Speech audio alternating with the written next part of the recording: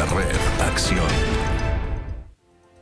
¿Qué tal? ¿Cómo están ustedes? Las 2 de la tarde en punto y aquí comienza una nueva edición de La Redacción. Y nos vamos enseguida a Buenos Aires, Argentina, porque allá está nuestro equipo, el periodista Gustavo Manén y el camarógrafo José Valenzuela. ¿Cómo estás, Gustavo? Muy buenas tardes.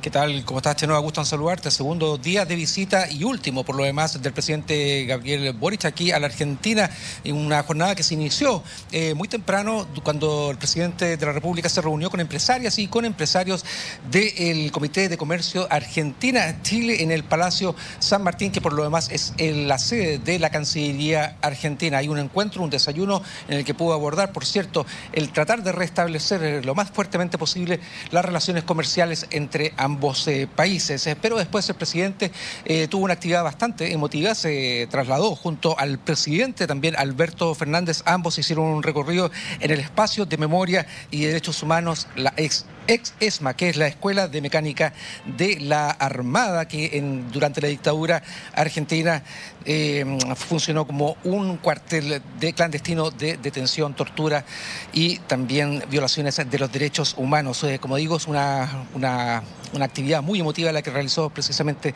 el presidente Gabriel Boric en ese lugar, donde además tuvo un encuentro con eh, Angelalita Beitano, que es una dirigente histórica acá en Argentina de, la de familiares de detenidos desaparecidos de este país, y también otra dirigente histórica que es eh, Buscarita Roa, que es la única chilena que forma parte e integra las abuelas de Plaza Mayo. En ese lugar también, Chenoa, el presidente Gabriel Boric pudo contestar preguntas de la prensa que estaban en el lugar eh, cubriendo por supuesto, el evento y además eh, dando cuenta de lo que ha sido esta gira. Habló respecto también de temas muy contingentes eh, que están ocurriendo en nuestro país. Por de pronto, la polémica que surgió por parte del Partido Comunista entre el presidente de ese partido, Guillermo Tellier, y también la diputada Carol Cariola, que se habían manifestado en reflexión respecto del tema del quinto retiro. Se le consultó al presidente Gabriel Boric sobre esto y esto fue lo que respondió pero yo tengo plena confianza en que tanto eh, el Partido Comunista como todos los partidos que integran la que integran el gobierno todos los partidos que integran el gobierno van a tener la tienen la conciencia de que un nuevo retiro sería tremendamente dañino para nuestra economía y a la larga tremendamente dañino para las personas que hoy día lo solicitan. Gustavo, perdón, ¿esto se condice con lo que, con la posición que había tenido el presidente en días anteriores respecto de este quinto retiro, a pesar de esta polémica con el Partido Comunista? No solamente se condice, sino que además es una política de gobierno que no se va a apoyar precisamente este quinto retiro, palabras también del ministro de Hacienda Mario Marceles. Por eso que además entró esta polémica bastante fuerte dentro de lo que es el ámbito del oficialismo. Ahí lo dejó claro el presidente, dicen que está cuadrado todos los partidos oficialistas respecto a no apoyar este quinto retiro. Hay que ver cómo va el derrotero de esta legislación. También manifestó preocupación, sabes, Chenoa, respecto a las alzas desde las cifras del rechazo para el plebiscito de salida de la Constitución, en la Convención Constitucional. Las últimas encuestas han mostrado que efectivamente esa opción ha crecido. Por otro lado, también otra polémica que se instaló acá en Argentina, considerando noticias que están ocurriendo, por supuesto, en este país, es una investigación penal que está llevando la Fiscalía, el Ministerio Público, respecto de la candidatura, de lo que fue la campaña de gobernadora de Karina Oliva, donde se dice, según el medio de interferencia, hubo dineros destinados también a la campaña presidencial de primarias del presidente Gabriel Boric que uno de los que estuvo em, eh, aportando precisamente en estos acuerdos de, cambio de, dineros es el actual eh, ministro de secretario general de la presidencia y jefe de campaña también del presidente Boric durante las elecciones, el exdiputado Giorgio Jackson. Le preguntamos precisamente sobre este tema al presidente de la República y esto fue lo que dijo.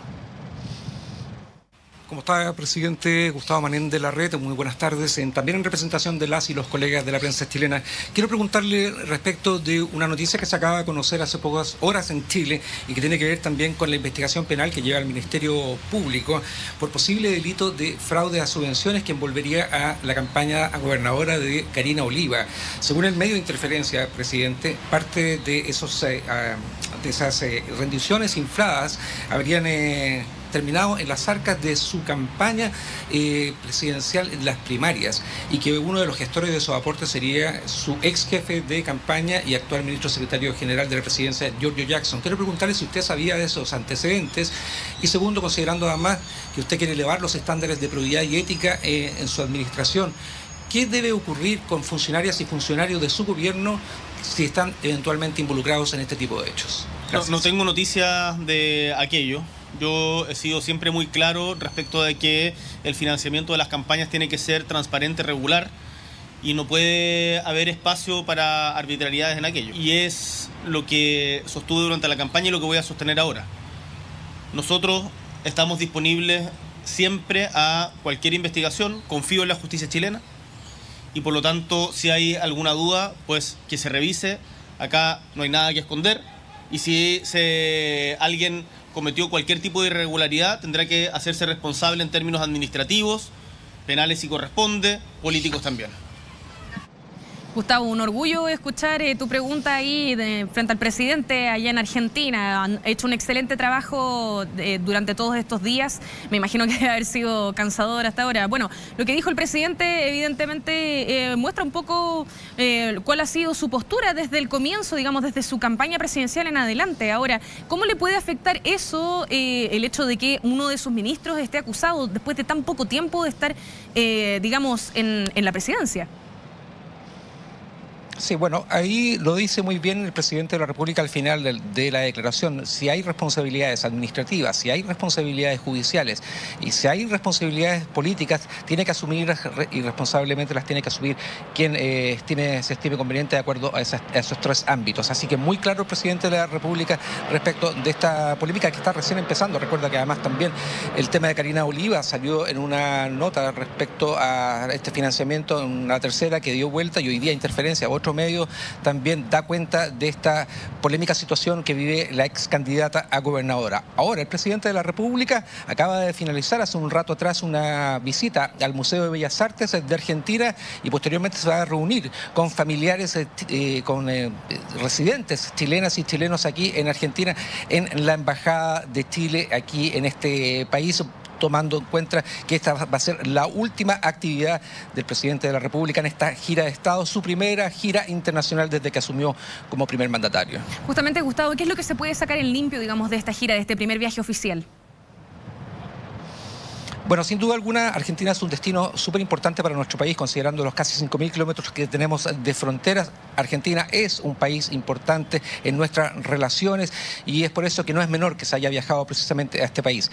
En concreto, bueno, hay que ver qué, es lo que resulta de algunos tratados que se han, o algunos acuerdos que se han firmado. Eso se ve siempre a futuro, Chenova, pero en términos eh, protocolares, muy simbólico todo. De, hecho, de hecho también eh, Alberto Fernández tuvo mucha deferencia con el presidente chileno durante esta visita, con regalos de por medio, con muchas muestras eh, de afecto, pero eh, el, la raya para la suma hay que ver eh, más adelante qué es lo que se logra con esta visita del presidente Gabriel Boric a estas tierras.